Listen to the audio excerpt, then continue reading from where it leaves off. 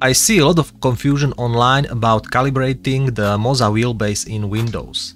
I did a troubleshooting guide for Moza, but I skipped the actual process on how to calibrate it in Windows. What you have to do is to search for game controllers or control panel in Windows and find your Moza R5 base.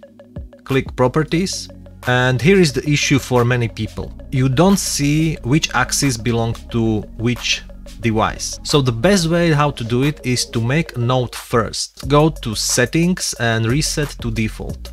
Then go back to test tab and make note which axis belongs to which pedal. We are going to calibrate only the axis, not buttons, so I will be calibrating my wheel rotation and throttle and brake pedal. You can also have a clutch pedal or a handbrake. Uh, these are additional axes and you have to make note which one belongs to which axis. So my throttle belongs to Z axis and my brake belongs to Z rotation. The wheel rotation is on Y axis. So let's start with the calibration. Go to settings and calibrate. Click next. And now the tool is asking to center the handle and press the button. Center the wheel and press any button. Now go with your wheel to one side and to the other and then go to center and click next. Leave the wheel in the center, click next. Now we have Z-axis.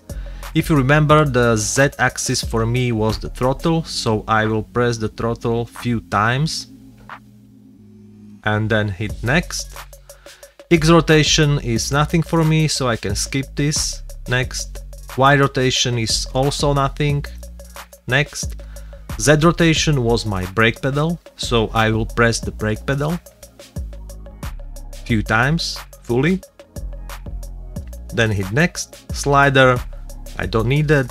Dial, nothing. And we can click finish. Then hit apply and you can see that the cross is now in the middle so my wheel should be calibrated the rotation of the wheel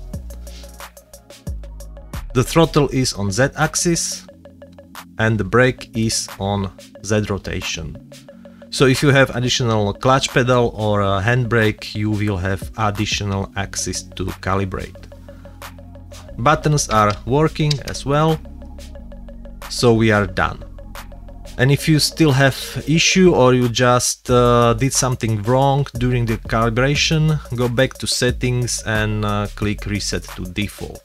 And if you haven't seen my troubleshooting guide, go to Moza Racing YouTube channel and check it out.